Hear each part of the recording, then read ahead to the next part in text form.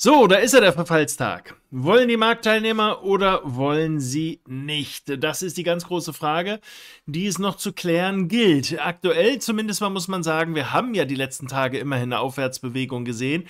Das ist für viele schon ein bisschen verheißungsvoll. Aber ich muss ganz ehrlich sagen, so richtig überzeugend finde ich die Bewegung nach wie vor nicht, die wir hier nach oben haben. Dafür ist sie mir viel zu korrektiv. Wenn wir hier im 4-Stunden-Chart gucken, diese Gegenbewegung, die wir seit diesem Anstieg oder innerhalb dieses Anstiegs haben, das ist mir zu viel Rücksetzer, zu weit immer wieder überschneidend.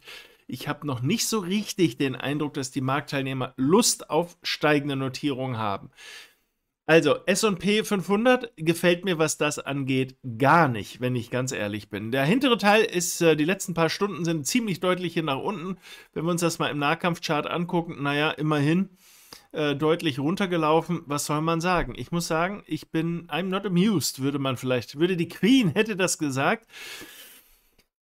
Ich finde es nach wie vor keinen echten Bullenmarkt, den wir hier beim S&P 500 sehen. Und das ist auch schon, naja, das Interessante, weil dieser Markt ist anders als alle anderen. Zumindest mal als der Nasdaq, denn der ist tapfer nach oben gelaufen und hier ist es zwar auch nicht so perfekt, aber er hat sich so weit nach oben durchgeschlagen, dass er wenigstens etwaige Long-Situationen getriggert hat. Jetzt im Moment ist er gerade in der Abwärtsrichtung.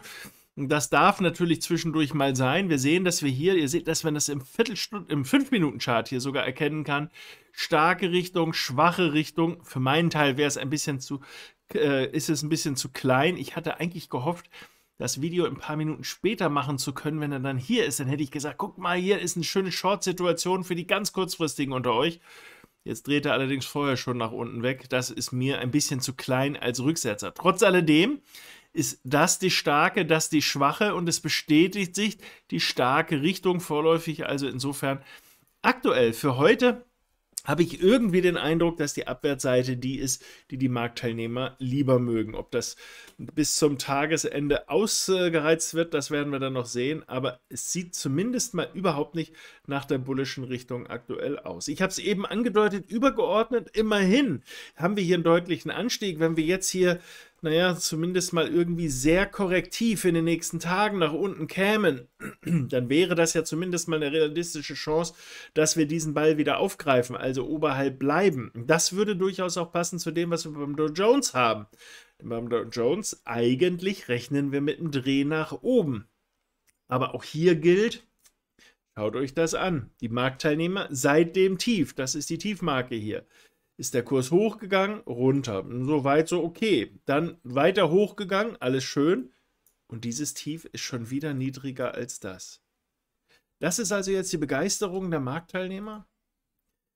Ich habe so meine Sorgen, dass die Marktteilnehmer das noch nicht so richtig ernst nehmen mit der Aufwärtsrichtung, dass das zwar ein ganz toller Gedanke ist hier, aber sie haben offensichtlich keine Lust. Sie bemühen sich zumindest mal nicht in diese Richtung. Also insofern, hm, ich bin noch nicht so wirklich überzeugt davon, jetzt die Short-Seite, äh, Entschuldigung, die Long-Seite zu machen, jetzt die Short-Seite zu machen, scheint mir eher noch die bessere.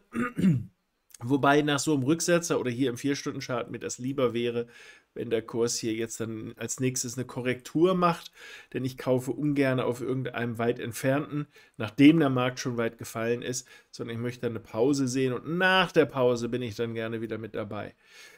Ihr seht, also so richtig begeistert bin ich nicht. Ich äh, muss äh, gestehen, das, was wir hier jetzt sehen als äh, Marktbewegung, reißt mich nicht vom Hocker. Weder auf der bullischen Seite, noch dass ich in diesem Moment jetzt auf der bärischen Seite was machen kann, außer auf dem ganz kleinen Bild, solange es dreiwellig nach oben geht oder irgendwie wackelig nach oben geht, sind das Anzeichen halt dafür. Aber für bullisch ich weiß es nicht. Obwohl die Nachrichten, die man jetzt gehört hat, JP Morgan hat doch jetzt vermeldet, ja, die Fed möglicherweise zwei, wie viel haben sie gesagt? Zwei, ich habe schon wieder vergessen, 2 Trillion war es, glaube ich. Genau, 2 Trillion will die Fed bringen. Das ist eine Menge Holz, um es mal zu übersetzen. Das sind 2 Billionen US-Dollar. Das ist eine Hausnummer, die die Fed möglicherweise für die Banken und die Bankenkrise parat hält.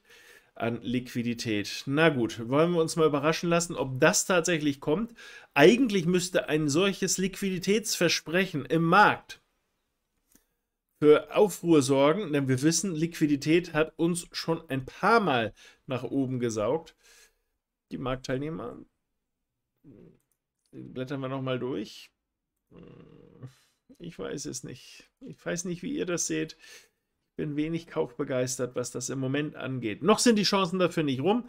Warten wir mal ab, ob wir nur eine Korrektur hier reinbekommen beim, Dow jo beim Nasdaq hier, beziehungsweise beim Dow Jones. Auch nochmal halt hier ein bisschen rumeiern, bevor es dann losgeht. Die Chance ist ja noch da auf den Dreh.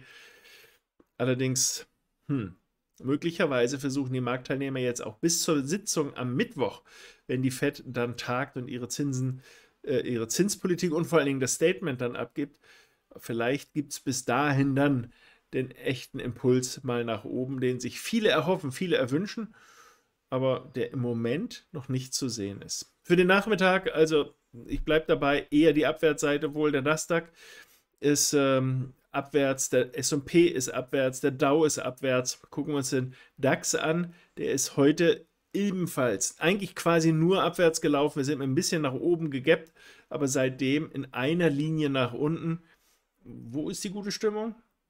Also es bleibt voraussichtlich noch ein bisschen schwermütig im Markt. Wackelige Aufwärtsseiten laden für weitere Shorts ein in allen Indizes. Begeisterung, ihr hört es an meiner Aussprache, fehlt. Nicht nur im Markt, sondern auch bei mir. In diesem Sinne drücke ich euch aber die Daumen, dass ihr auf der richtigen Seite liegt. Mehr kann ich dazu eigentlich im Moment nicht sagen vielleicht lieber die Einzeltitel mal angucken. Vielleicht als kleine Hausaufgabe, es gehört nicht in das Index-Update des Nachmittags, aber guckt euch mal den Euro gegen US-Dollar an. Vielleicht fällt euch dann ein Verhaltensmuster auf, das ihr interessant findet. Ich finde es allemal. In diesem Sinne euch alles Gute und liebe Grüße.